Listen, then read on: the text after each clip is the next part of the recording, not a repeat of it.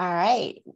Hi, everybody. Welcome to the Advocacy and Outreach Special Interest Group. It's Thursday, January 13, 2022. Today's agenda topic will focus on Google Summer of Code. Um, however, uh, we got a uh, we're waiting for Oleg Nenashev, who is um, going to transfer his wisdom to us.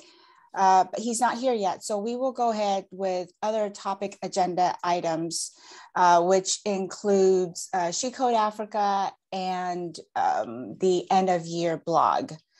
So I will hand it over to Mark and let me see if I can share my screen.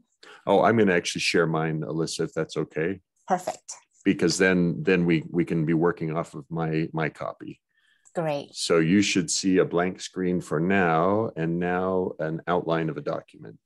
Yes. Correct. Yes. Okay. So so the Oleg Oleg suggested, and we've done it consistently for many years, that we create a summary end of year blog post uh, to disc- to post on Jenkins.io about the results in the Jenkins project in 2021.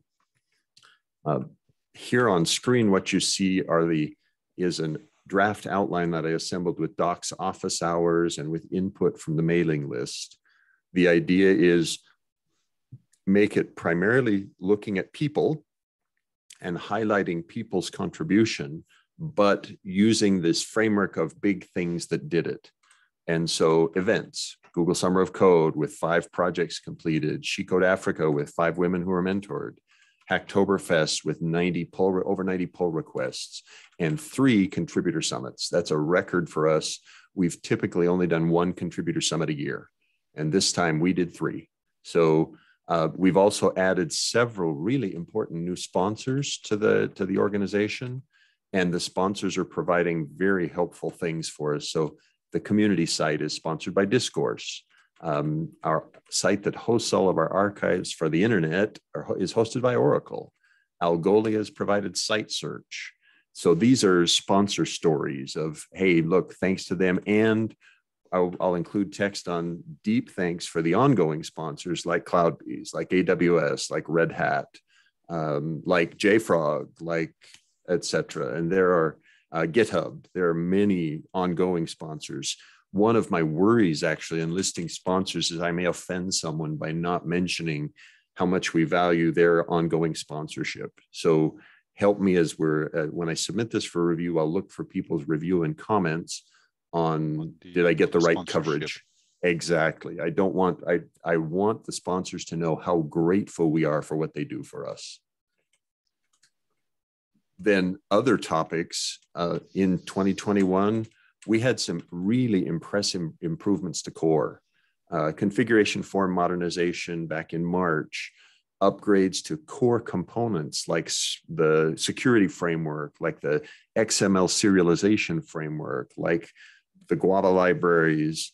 Uh, we've modernized how we're delivering plugins so that many plugins now deliver every time there's a, a relevant commit.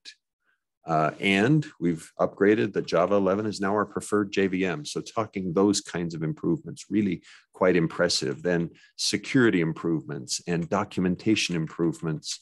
And there's a whole data thing on the community site for, for top users and most topics and most replies. So I think we've got good data. Are there other things that you as outreach SIG members would say, oh, oh, Alyssa, I'm sorry, there's one that you had given me that was um, that probably should go in outreach, and that is Jenkins is the way. Yeah. Oh yeah, definitely. Right, because that that program, the Jenkins is the way program. Now, I don't believe we launched in 2021. We launched before 2021, right? But right, right. We should include the results from 2021 mm-hmm. in the uh, in the summary. Yeah, yes. Very good. Anything else that I've missed? Uh, did we participate uh, in FOSDEM of, in 2021? We did. The participation, though, was for me not a highlight, and I okay. intentionally gotcha. left it off here. It's a it's a good point. Okay. We participated, but I wasn't. At least the feedback we had really was, no, nah, it wasn't. It just wasn't a, a big event for us because it was remote and Participation yeah. was really complicated. Right. Okay. Just wanted to check. Yeah. Also, didn't note. Let's see. We didn't do scale, so that was one that it was a non. Right. Uh, didn't do CDCon as an event. CDCon certainly was a big event. Um, I didn't put it there because I didn't see an awful lot of Jenkins talks in the in the in the agenda, so I left it off here. We did a contributor summit around CDCon, and that was a nice result. Um, so DevOps World, Mark, do we want to oh, include oh, oh, that? Right. Oh, that's a good one. Right. Yeah, that's, that's a very good one. Certainly, there were a number of talks there, and yeah, very good. All right, yeah. so now that needs more research. That's a little embarrassing. Sorry that I forgot that one. So thanks.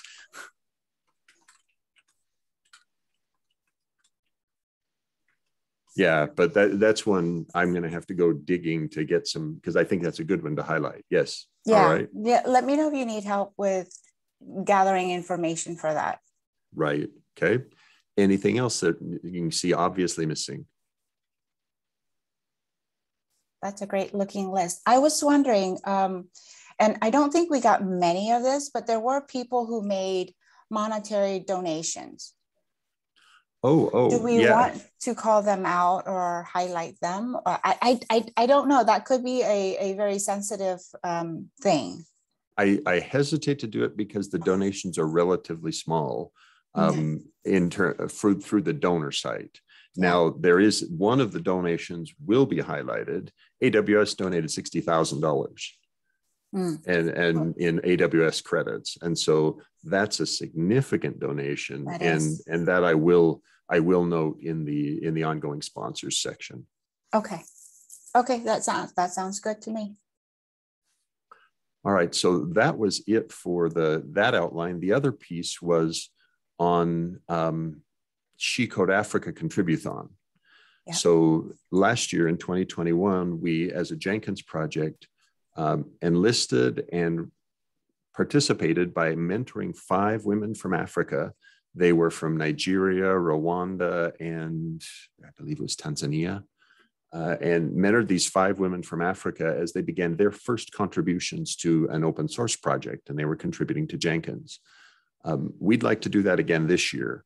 We'd like to use what we learned from last year's experiences to do a better job. Um, one of the some of the things that we see benefit this year, it's starting one month later. So instead of starting first of April, um, or start instead of starting first of March, it will start first of April. So we've got a little more time to prepare and plan. Uh, it's going to be a longer session this time. So instead of just four weeks like we had last time, it will be a two week warm up period, four weeks of development, then a two, two week cool down period. Mm-hmm. So we think that will help the project be healthier as well. Now, the, the big challenge for us as, as advocacy and outreach is I need to start the process of encouraging additional project ideas. So two project ideas that were initially thought of the inclusive naming initiative get rid of the uses of the term master and slave and blacklist and whitelist and replace them with correct terms um, then pipeline help was a project we used last time others had suggested some additional ideas like test automation we've got unit automated tests inside jenkins that are using an old framework in many cases still JUnit 3. There are some, and certain certain plugin that I maintain has some JUnit 3 tests in it still that need to be converted. Mm. So JUnit 3 is long gone. JUnit 4 has now been uh, upgraded to JUnit 5. Mm. And so there are lots of opportunities there. The other suggestion was multiple tutorials on jenkins.io where using these new contributors as test cases, hey, why does this tutorial not work and what would it take to make it work? The, the getting started stuff, there is, they're very difficult. Right. So it's, it's not because it started, it takes a lot of work to have a very nice, but they're incredibly useful. Right, exactly.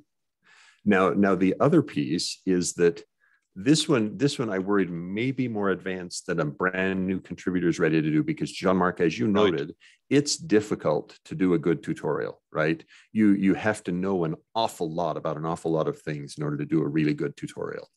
Uh, and so so this one may not be suitable, but the next one, screenshot updates.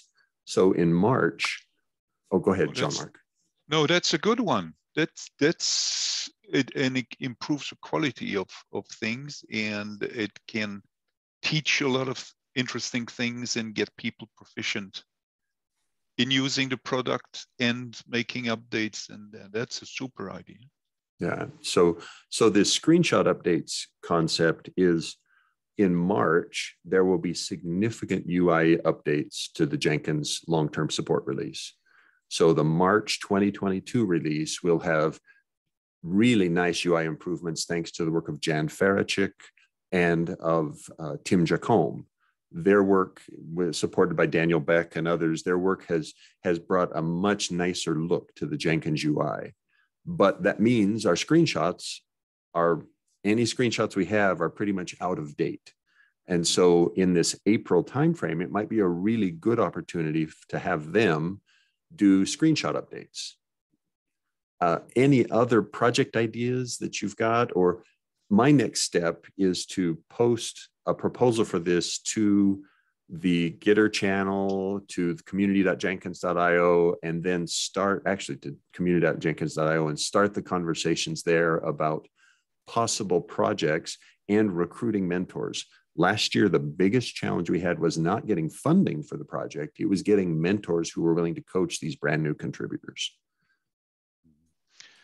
There's one side uh, project or, or I don't know how to phrase it in English, but I'd like to use these kind of projects to clarify, improve, or work out uh, the Gitpod uh, implementation, documentation, and have some real usage under the belt to uh, to see. So it's not a project per se, but I would encourage uh, uh, uh, uh I don't know young contributors, let's call it like that, to to use the technique so that we, we do qualification of that and see where the friction points are.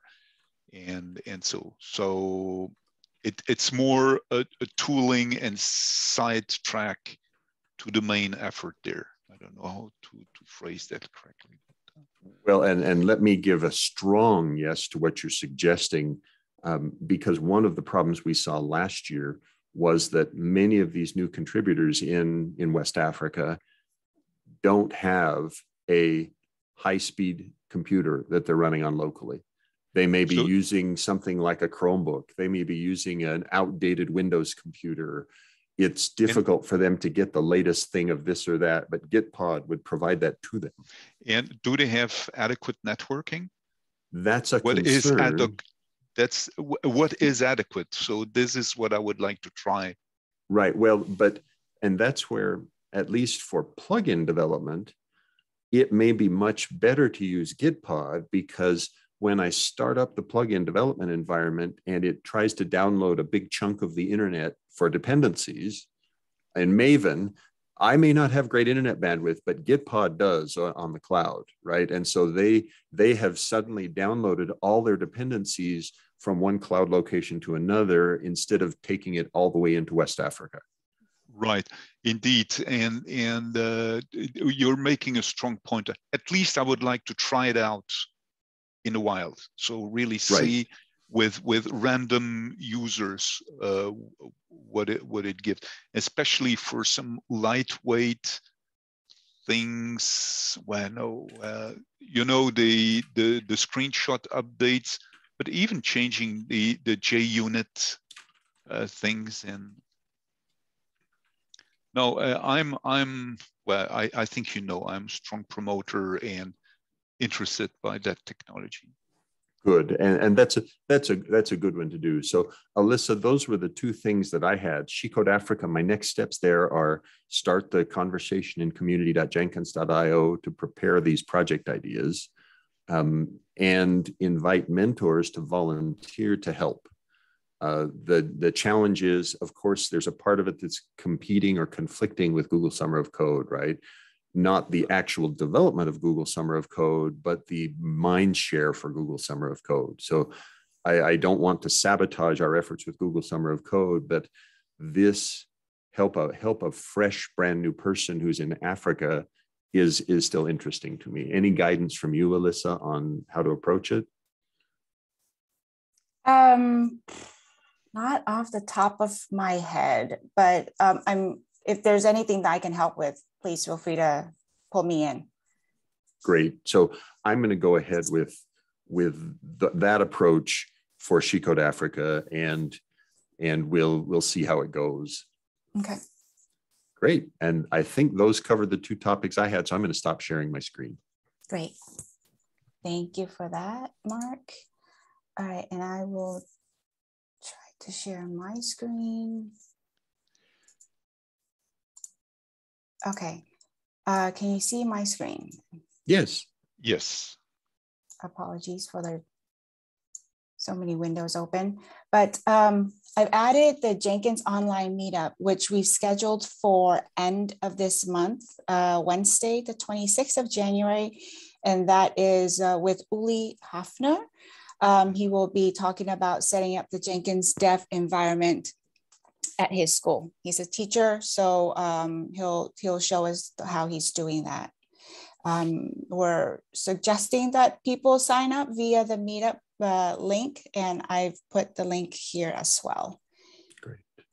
Um, now, Alyssa, yeah. I've got another, as a sub bullet of that, I've got two meetups that I need to schedule and haven't done yet. Mm-hmm. One is a meetup with Etienne Studer for Jenkins Development Acceleration with Gradle Enterprise.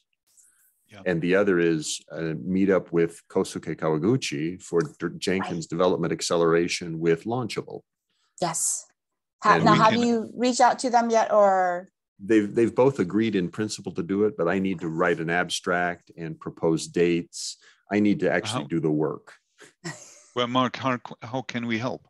I, in this case, I think it's best if I do it because I'm the I'm the noisy one who launched this project, and I'm the one who is who is sponsoring it. So I'm hesitant to to bring another voice into it right now, just because. Well, agree, but don't hesitate to ask for help. Great. Yeah. Thank you. Thanks very much. For sure. Um, okay, so it looks like Oleg. Uh, just yeah. just a little uh, note. Maybe Alyssa, we should both uh, write down somewhere the idea so that we can serve as a, a crutch to uh, Mark so that he doesn't forget. Yeah, uh, I'll update it after the meeting. I have it. I have okay. it somewhere, so I'll update it. Um, thanks, Jean Marc. Uh, so looks like Oleg still isn't here. I think we'll wait. Just... Wait a sec. So I just see yeah. a Gitter post from him. He says there's no meeting invite for it. So I'm going to send him a link to this meeting and see if he's available. Maybe he is. Okay. But just a minute. Let's that see if I can. Well, it just you know he's a busy guy. So. Yeah. All right. So if if he's available, that would be great. Yeah.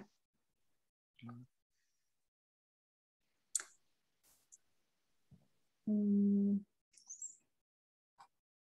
So while we're waiting for Oleg, or what I have listed down here are the proposed project ideas and our planning document.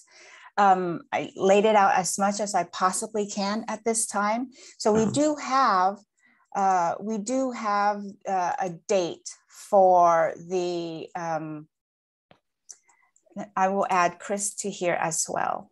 Oh, good.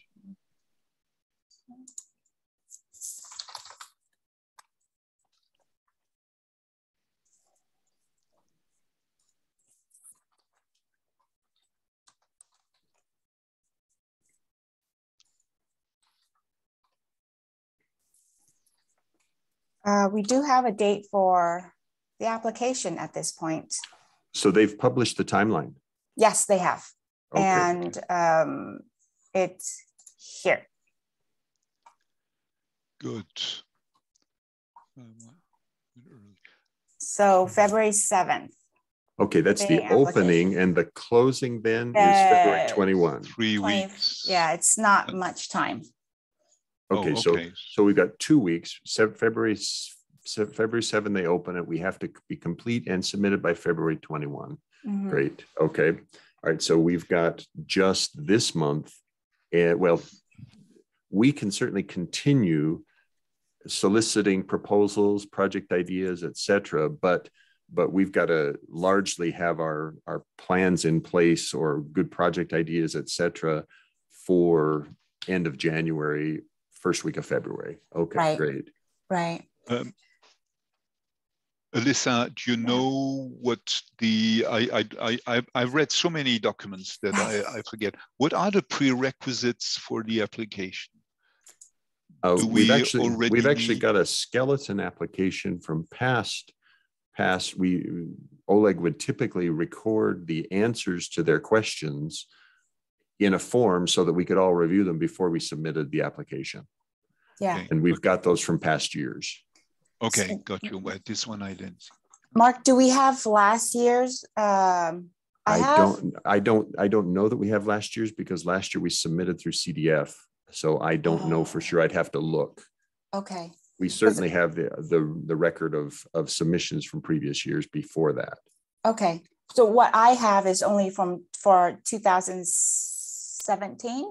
Ah, Six- okay. Yeah, that's the only one that I was able to dig up. And the application is. That's five years ago. Yeah, so I'm sure things has changed since then. Mhm. Um, but I would love to see if I can get something f- from the previous year, if that's possible. But I can also reach out to CDF, Mark, if now I know that it went through them. Yeah, well, and and Tara Hernandez is a great one to ask for help on that. She may Yes. have have a copy of the document that they submitted. I'll I'll also check. I thought that the submission packets were linked in our archives. So I think I may be able to find at least for 2020. I'll look and see if I can provide it to you separately, Alyssa. Okay. All right, sounds great. Ah, yes, here it is, the GSOC 2020 application draft. So definitely, I'm going Great. to paste that into the chat here. So it's right on for there, there's the 2020 application if you want to put it into the notes. Yep.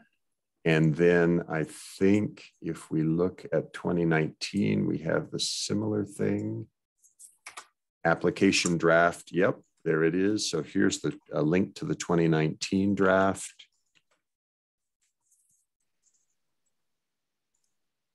And then the 2018 draft. I don't see a link, a 2018 draft. So I've just got 2019, 2020. Let me double check. Maybe we've got a draft for 2021 and I, no. So we've got the CDF organization page, but not a, not a draft of the packet that was submitted. Okay. Okay. All right, great. So I will, uh, so we will work on that and I'll drive this effort for us um, to make sure that we get things lined up before January or by beginning of January. And and make sure that uh, uh, large work items that are required for the application are identified on the, the to-do list Yes, on, on Okay. the timeline. absolutely. So I know that for, at least for the, for the immediate um, um, deadline that we want to uh, accomplish is the, the project ideas. So we need the descriptions of those. I mean, we, I think we did great. We have 12 submissions or proposals for project ideas. I already have at least, I think I have about three um, um, abstracts or descriptions for those. So the rest I still need to um, chase after. So Well, and- hope- Yeah. The the project idea pro- process that Oleg has used in the past that it, it helps us assure that the idea is well enough vetted involves a submission of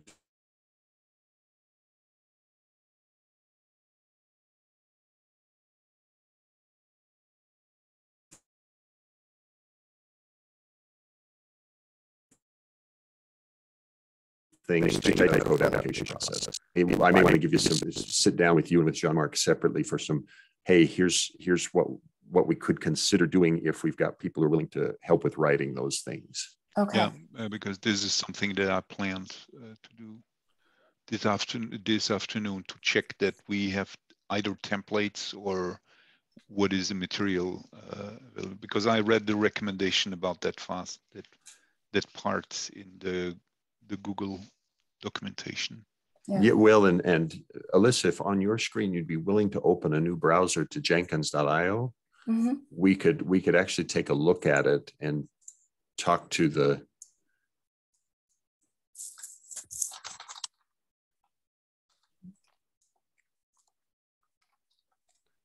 Perfect. Okay, so here, if you go sub projects, Google Summer of Code in Jenkins, and then on the top right hand corner on this page, there's GSOC 2022.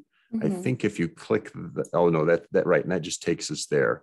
The what we want to see is the pro, oh yes, see the current project ideas. So click that yeah. hyperlink that's under the, mm. it's in the first sentence in the top paragraph. This one. That one, right. Click that because what this shows us is accepted ideas. And these are ideas that have enough text describing them that people can actually, it's quite strong. And then draft project ideas. So you notice here we only have three, but you've got 12 mm-hmm. 12. So there are nine things that we probably would like to, at least some of them, have them appear on this page so that, that, right. for instance, nine of them could at least be ongoing discussion where we would put them in the ongoing discussion section here because there's something happening in that in the in the mailing list discussing it.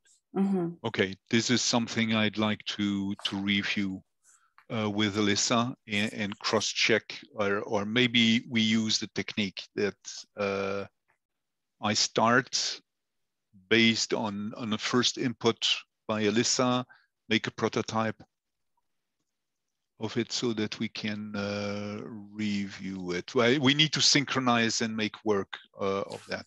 Well, well so, and, and I think that's as a as an idea. What if we took the I believe the three that are on this page are already in your list of 12, right? That the, mm. these three are there. So if we took the other nine, oh, you say what's that? So, so two, two that's on, is already on this list from last year.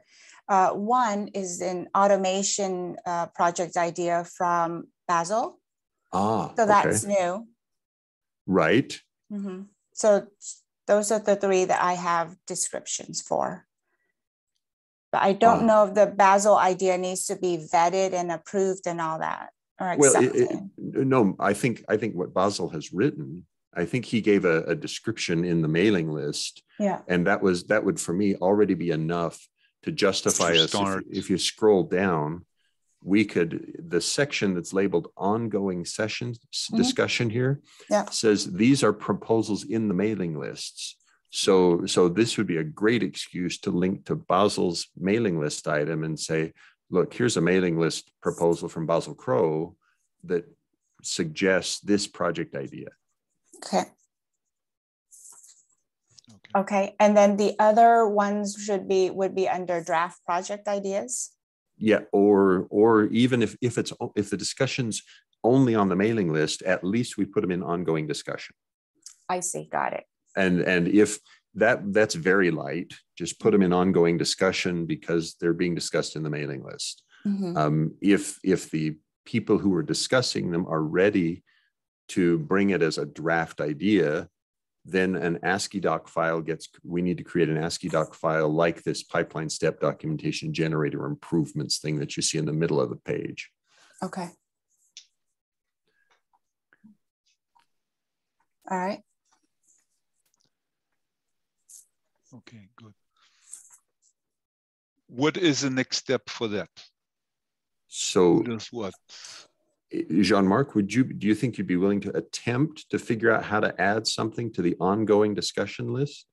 Right, I will do that. And um, once I figure that out, I'm going to ping. Well, we're losing one day there. Um, Or Yeah, that's- turn it the other way around, that Alyssa looks what she would like based on the discussion we had right now, what she would like to have added Yep. To that and pointers to the material. Mhm. And tomorrow, my time, I'm going to create a draft Perfect. Yeah. uh, Yeah, for that, that, that sounds and a pull request. So we we leverage the time zone difference. Yeah. I like that. That's great. So That Alyssa, works. Alyssa reviews the the topics and suggests to you, hey, I think we should link to this mailing list discussion, this discussion, and this Yeah. discussion, and you can then submit the pull request. And you Excellent. can send that in any form you you want, mail, Slack, or or whatever. Great. Thank you, Alyssa. Thanks very much. You bet. No problem. Now back to you had mentioned Oleg, and my read from his post in the Gitter chat channel is quote gentle reminder I cannot join the advocacy and outreach meetings unless they get moved to another time slot. I'm not sure if that means he's not available today. Again, I assume it is, and let's just look for another time because I would love to have his guidance on this. We really it would it would help us a bunch, but I think we would benefit just by going with this little step that we see. Let's take it and let's Yeah. continue forward. Yeah, absolutely. Okay, so I'll touch base with Oleg and we'll see that we we can set up another time. Great. Yeah. Super. Mm, see what else do we have? So I think that is all that I have that is related to what is due next in terms of Google Summer of Code. Um, so this project ideas along with preparing for our application are the two big things on my plate for this. Great. Now, now Oleg prompted one question in terms of should we change our meeting time? And with Chris and Diraj both joining us now, we've got two people now from Asia who are in in the call. I wonder if we ought to put out a, a doodle poll asking for questions or proposals from people on when they would like to meet because Diraj, for instance, meets with us pretty regularly on the what would be for you, Alyssa, late night Monday. And for you, Jean-Marc, is impossible. It's Oh. like the middle of the night. Well, well, okay, then we'll have trouble here at home. Right, exactly. But, hey, but where where are you located? Just for for me, You're- Diraj is in Mumbai. Mumbai. Okay, well, Right. okay, Yes. reminds me. Okay, hello. Hi, Uh, Diraj. ah, Hi.